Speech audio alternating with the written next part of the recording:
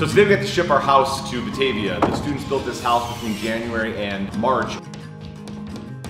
That means we have geometry and construction, and the students work through their math course and their construction course uh, in conjunction to build a house for Habitat for Humanity.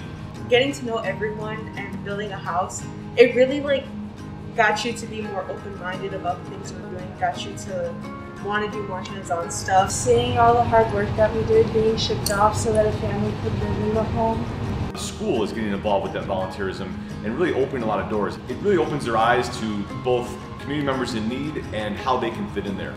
So the chance to come together today and, and send off this project that we put a lot of time into uh, last school year is a pretty big moment.